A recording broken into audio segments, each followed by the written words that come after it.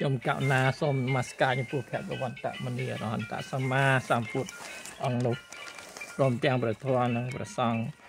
ដោយសេចក្តីគោរពសម្រាប់តនេះខ្ញុំសូមលើកនៅ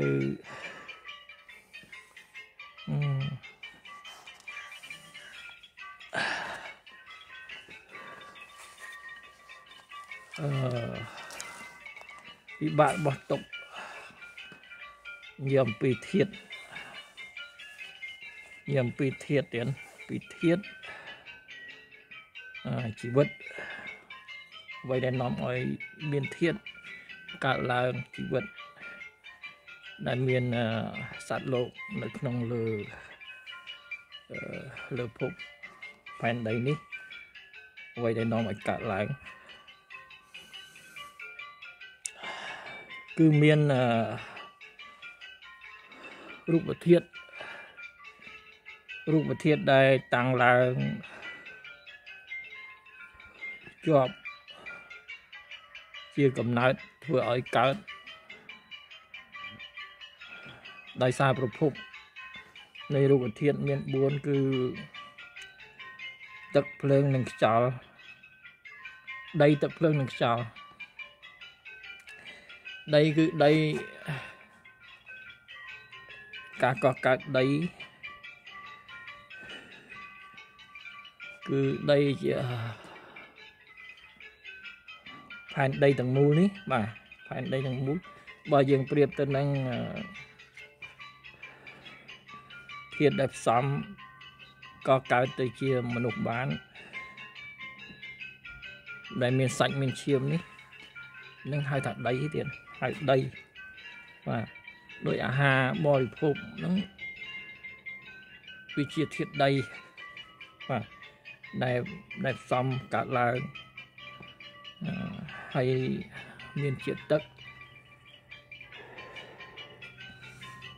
ទឹកមានដូចជាទឹកទន្លេទឹកស្ទឹងទឹកសមុទ្របើទៅនឹងប្រៀបទៅនឹងរូបកាយ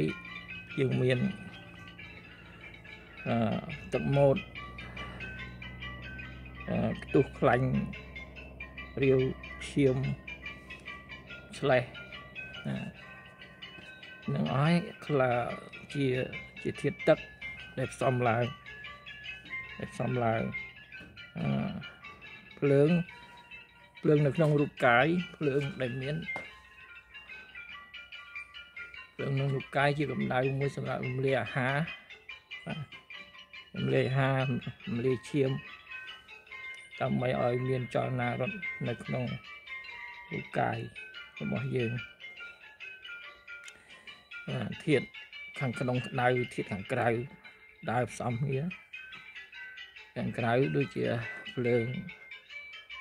យើងមានដូចជាកម្ដៅពីព្រះអាទិត្យបាទនឹងជាធាតមួយមួយមួយមួយចោលក៏ដូចគ្នាដែរ ចោលក្នុងសរីរាង្គអឺរូបរាងកាយរបស់យើងនេះគឺវាកន្ត្រាក់អាចនិយាយបានអាចក្រោកដេកដល់ឈរឈរអង្គុយដេកដើរឈរអង្គុយគឺថាបានដោយសារខ្យល់កន្ត្រាក់យើងអាចបោះដៃលើកជើងលើកដៃបានបាទនេះជាធាតមួយអត់បើធាត ដែលនៅដាច់ដាច់ឡែកពីគ្នាគ្រាន់តែធ្វើការប្រៀបធៀបជាមួយនឹងរាងកាយរបស់យើងគឺវា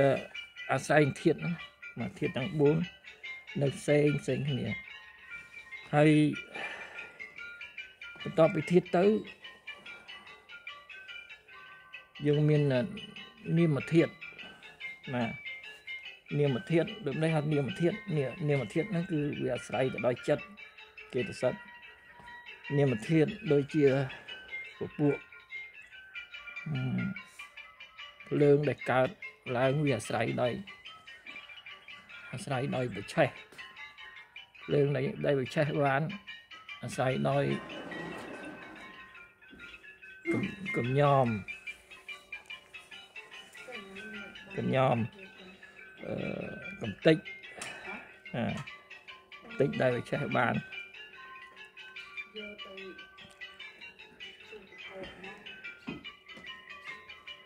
ដូចជាភ្លើងព្រៃអីវាអាស្រ័យអូសណាហ្នឹងជានាមធាតុបាទជានាមធាតុ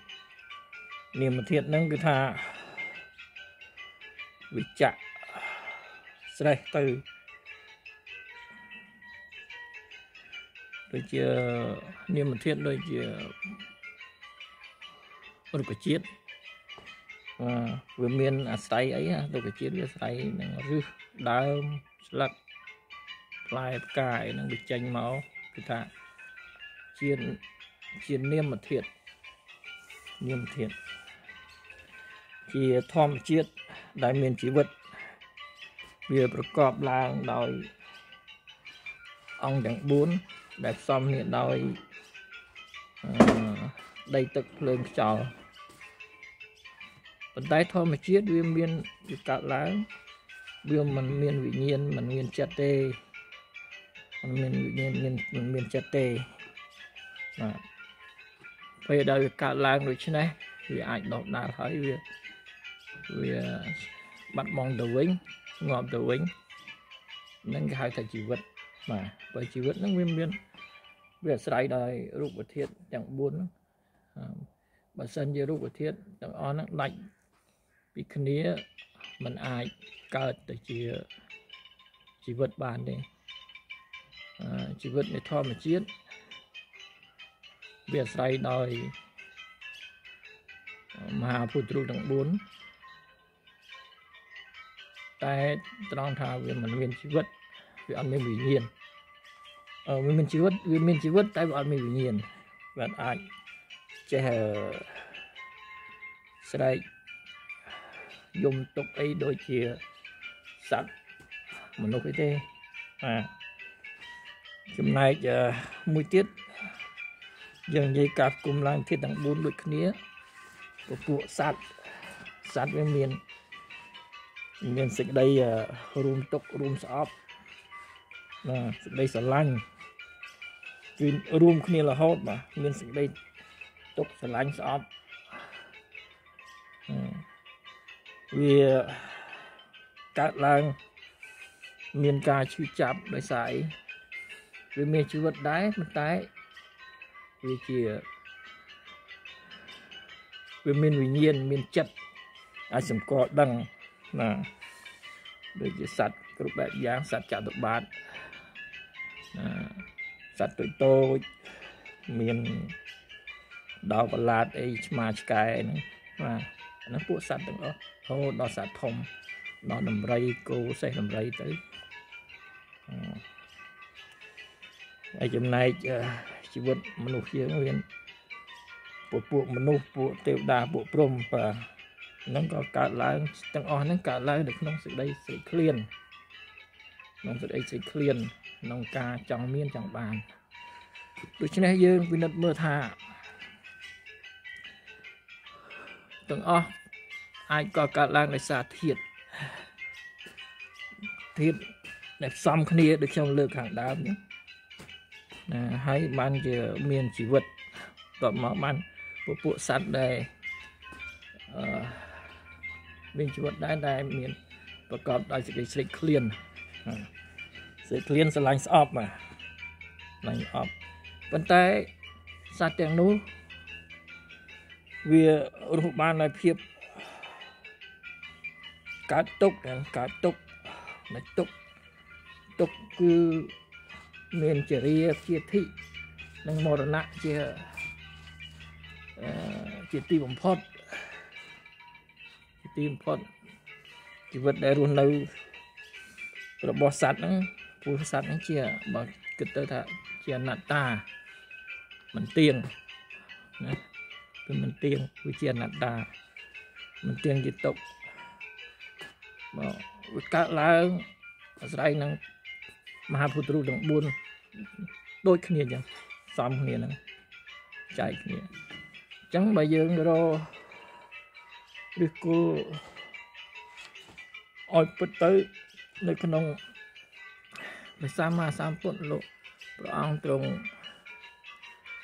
សម្ដែងថាស្លាប់ទៅមិន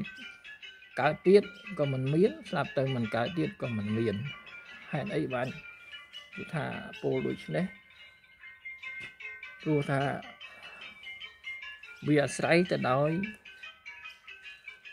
អាស្រ័យទៅដោយកំណើត អាស្រ័យដោយបាបបុណ្យទៀតបាបបុណ្យបើយើងមើលពី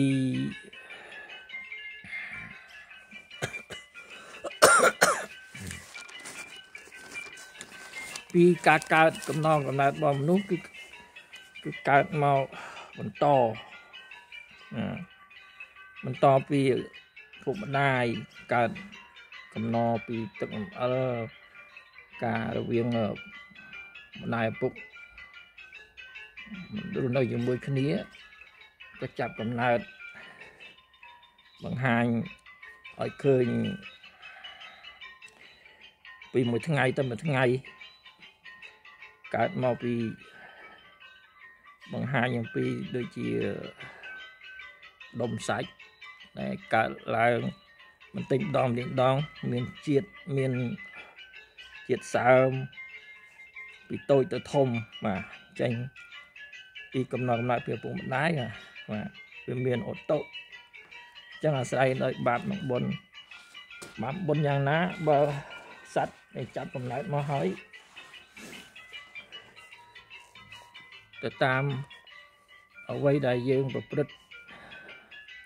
ពីអតីតកាលបានយ៉ាងណាទទួលយ៉ាងនោះហើយ រហូតដល់ចាប់កំណើតហើយក៏ចុតិទៅវិញនោះក៏អាស្រ័យនឹងកម្មកម្មដែលបានធ្វើធ្វើអំពើដែលយើងបានធ្វើឡើងបាទវាវាបន្តគ្នាបាទប៉ុន្តែកំណើតហ្នឹងគឺកើតអំពីពុកម្ដាយទាំងស្រុងអត់មានទេវតានឹងមកជប់ឲ្យឬក៏ ព្រមណាងមកជប់ឲ្យមានអីទេគឺជាកំណើតគ្រាន់ថាកើត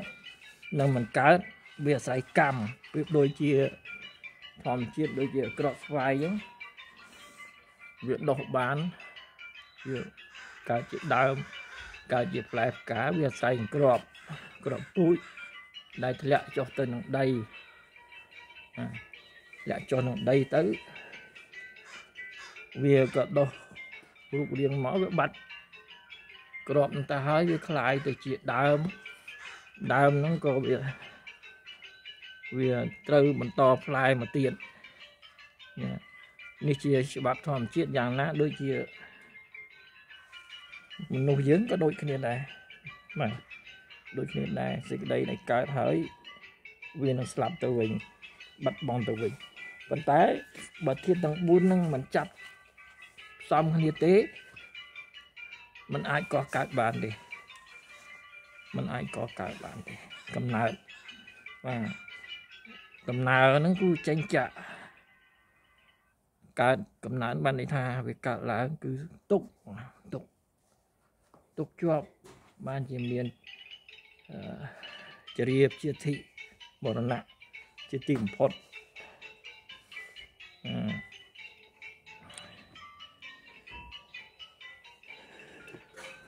នេះការយើងពិនិត្យមើលដូចជា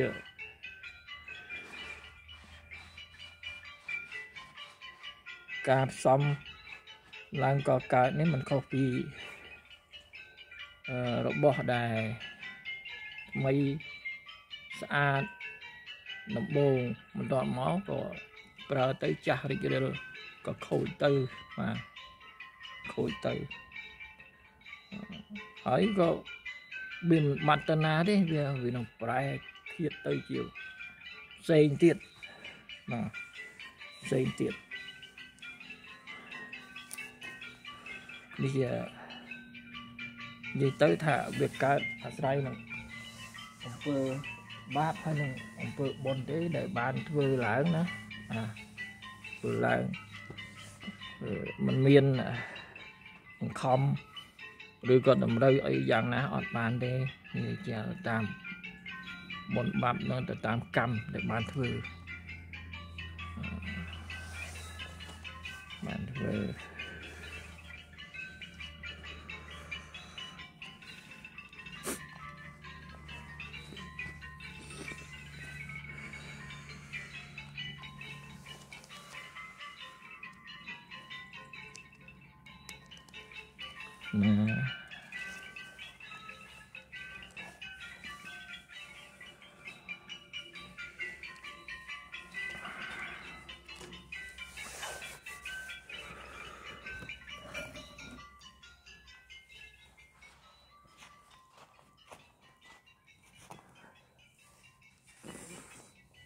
នេះជារូបសំណាក់ដែល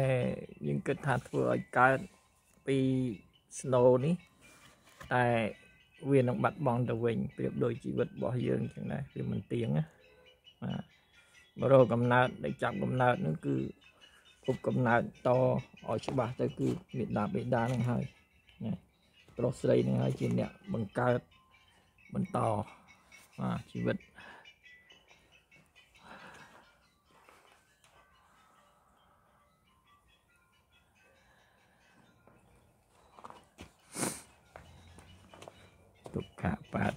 ចនិតទុក្ខាពិយបាតាចនពយាសោកបាតាចនិតសោកាហោនតុសាពេវិបានិណោសត្វទាំងឡាយទាំងពួងដែលដល់ហើយនៅសេចក្តីទុកសូមឲ្យជាសត្វបាត់សេចក្តីទុកទៅដែលដល់ហើយនៅភ័យសូមឲ្យជាសត្វបាត់ភ័យទៅដែលដល់ហើយនៅសោកសូមឲ្យជាសត្វបាត់សោកទៅ សូមអនុមោទនា